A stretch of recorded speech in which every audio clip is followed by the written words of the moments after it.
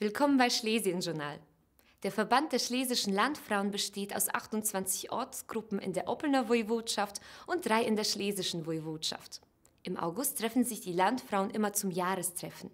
Dabei gibt es die Gelegenheit, sich besser kennenzulernen und Erfahrungen und Projektideen auszutauschen. Dieses Treffen findet jedes Jahr an einem anderen Ort statt. In diesem Jahr war die Ortsgruppe Krein-Strelitz der Gastgeber. Das diesjährige Treffen der schlesischen Landfrauen begann mit der Besichtigung des Schlosses in Rogau. In Gruppen haben sie sich angeschaut, was einst erbaut wurde. Geschichte und Kultur sind für die schlesischen Landfrauen sehr wichtig. Sie bemühen sich, diese an die jüngeren Generationen weiterzugeben. To jest to, czym my żyjemy. My po prostu postawiłyśmy sobie zadanie, że my to powinnyśmy, musimy i to robimy, bo nikt inny tego za nas nie zrobi. To jest po prostu nasze takie przesłanie, no nasz obowiązek. My to musimy.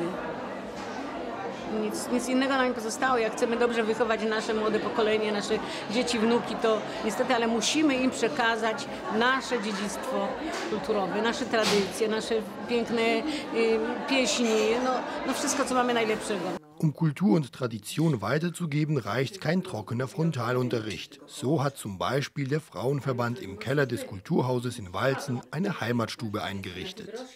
Hier kann man eine Reise in die Vergangenheit machen. Gebrauchsgegenstände, Stickereien und Werkzeuge, die von den Vorfahren benutzt wurden, gibt es hier zum Anfassen. So kann man viel über die Geschichte lernen. Das ist einer der Beispiele für die Aktivitäten der Landfrauen. Wir sind in verschiedenen Vereinen auch. Wir sind auch in äh, der Gemeinde, im Rat der Gemeinde. Wir sind auch im Fahr, Fahrrad, ja, bei der Kirche arbeiten wir. Manche von uns sind auch in der Feuerwehr und wir sind auch in der Schule. Wir sind überall, äh, wo man Hilfe braucht. Viele Frauen arbeiten auch äh, in Caritas, bei der Kirche und außer der Kirche. Wo Leute Hilfe brauchen, wo wenn wir gebraucht, dann sind wir einfach. Doch nicht nur Kultur, Geschichte und Traditionen sind für die Landfrauen wichtig. Was sie ausmacht, ist Kochen und Backen. Ihre Spezialitäten präsentieren sie bei verschiedenen Wettbewerben im In- und Ausland vor verschiedenen Jurys. Seit 19 Jahren präsentieren sie ihre Kochkünste bei der eigenen Ausstellung der Ostertische. Dabei hat jeder die Gelegenheit, die deutschen und schlesischen hausgemachten Spezialitäten der schlesischen Landfrauen zu probieren, sich das Rezept geben zu lassen und sich Tipps und Tricks von den Expertinnen zu holen. Von wo habe ich meine Rezepte? Ganz offen gesagt, aus dem Kopf von meiner Mama und von meiner Oma. Was habe ich zu Hause gemacht? Und äh, hauptsächlich von mir allein, weil ich sage, das muss von mir kommen, von meinem Tisch, von, aus meiner Küche. Und das muss von eigenen, eine, eigenen Produkten machen, sein. Nicht? So wie die Nudeln. Die Nudeln mache ich aus meinen Eier.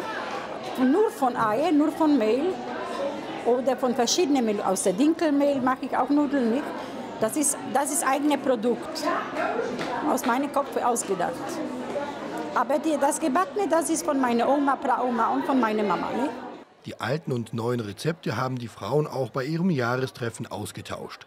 200 Mitgliederinnen des Verbandes der schlesischen Landfrauen haben sich am 15. August in Kleinstrelitz getroffen. Am gemeinsamen Tisch tauschten sie sich aus.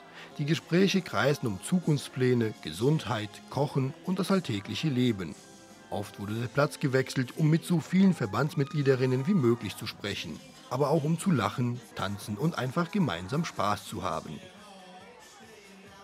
Co roku się spotykamy w innej miejscowości, inne koło przygotowuje to spotkanie, my tylko tam zarząd nadzoruje, prawda, ukierunkowuje, my podajemy nasze pomysły, co byśmy chciały, żeby było, co chcemy obejrzeć, a panie już się zajmują resztą, także jest miło, przyjeżdżamy do miejscowości, one nam pokazują swoje piękne zakątki, swoje zabytki, oczywiście swoje kulinaria, co można zobaczyć, gdzie można spędzić czas miło, tak to jest, a my widzimy, gdzie one pracują, gdzie żyją, jakie mają obejścia, prawda, są wsie różne, ale te śląskie są najpiękniejsze.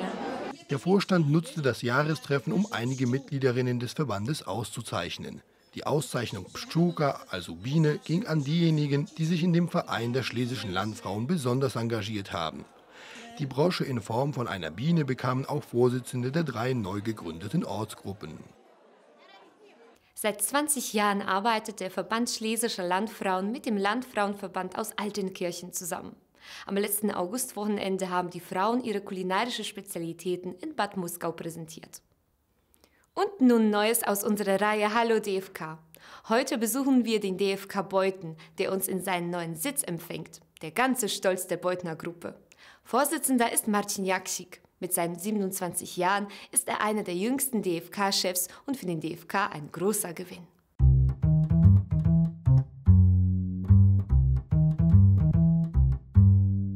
Ein bisschen provisorisch sieht es am Eingang noch aus. Hier haben die Beutner seit März 2017 ihren neuen DFK-Sitz. Doch die Bauarbeiten dauern an.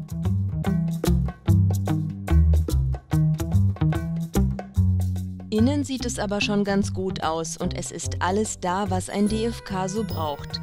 Der Umzug war nicht leicht, aber alle haben angepackt. Darauf ist der DFK-Vorsitzende Marcin Jaksik besonders stolz.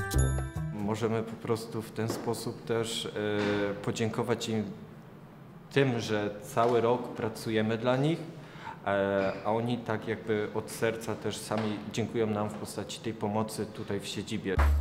Heute ist Mitgliederversammlung. Die neuen Projekte werden besprochen.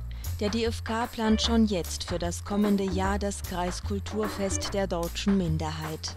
Jeder Mensch hat irgendwelche Hobbys. Ich persönlich bin im Ruhestand äh, äh, und man muss irgendwas machen. Man kann sich einfach nicht äh, abschalten oder ausschalten und fertig, jetzt bleibe ich zu Hause im Garten. Aus diesem Grund engagiert sich DFK-Vizevorsitzender Josef Krawczyk bei vielen Projekten darunter das Kreiskulturfest der deutschen Minderheit, das immer im Beutner Theater Rossberg stattfindet. Seit einem Jahr arbeitet der DFK auch mit der Stadt Beuthen zusammen. Sie hat den neuen DFK-Sitz zur Verfügung gestellt. Ta siedziba jest dla nas, można powiedzieć, takim małym szczęściem, gdyż ta przestrzeń, którą mamy, powoduje, że możemy większość wydarzeń organizować w tej siedzibie.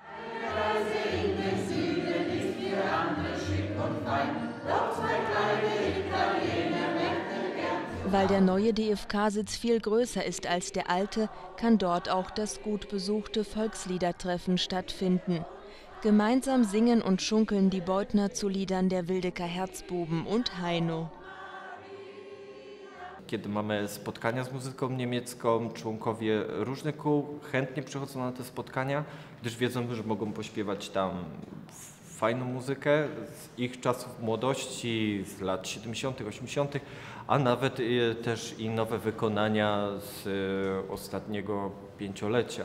To jest y, dla nich taka odskocznia, bardzo są nastawieni potem pozytywnie. Für viele DFK-Mitglieder ist das Liedersingen eine Reise in ihre Jugend. Damals war Marcin Jaksik noch gar nicht auf der Welt. Der DFK Beuthen, er vereint die Generationen. Das macht ihn besonders. Wer mehr über den DFK Beuthen erfahren will, dem empfehlen wir, sich auf der Facebook-Seite Mniejszość Niemiecka w Bytomiu zu informieren. Dort finden Sie viele Fotos zu den zahlreichen Projekten sowie Kontaktdaten zu den Ansprechpartnern. Und nun eine Info im Schlesien-Journal. Das Projekt Archiv der erzählten Geschichte wird seit dem Jahr 2009 organisiert. Nun sollen auch alte Fotos die Interviews der Zeitzeugen bildhaft machen. Im Rahmen der Aktion Unbekannte Fotos werden alte Bilder, Dokumente, Briefe, Postkarten, Tagebücher und vieles mehr eine Art Galerie bilden. Das soll zeigen, wie das tägliche Leben von Menschen in Oberschlesien ausgesehen hat. Młodzież chodzi do osób starszych, osoby starsze są zadowolone, że wspominają przede wszystkim, że młodzież chce uczyć się tego, co kiedyś było. Bardzo często też e, młodzież, jak przychodzi do nas, mówi, że ja nie wiedziałem, nie wiedziałem, co tutaj się dzieje. I w związku z tym oni też rozumieją tą historię, ale bardzo trudno, nie potrafią sobie tego wyobrazić. Więc z tymi zdjęciami mamy nadzieję, że troszeczkę zobrazujemy tą historię Górnego Śląska. Die Bilder und andere Dokumente müssen nicht als Originale eingereicht werden. Es reichen Kopien. Das Haus der deutsch-polnischen Zusammenarbeit nimmt ihre Andenken an die Vergangenheit gerne entgegen. Man kann sie bis Dezember 2017 zuschicken. Weitere Informationen finden Sie auf der Seite www.haus.pl. Das war's bei Schlesien Journal. Schalten Sie wieder in eine Woche ein. Bis dahin. Tschüss und auf Wiedersehen.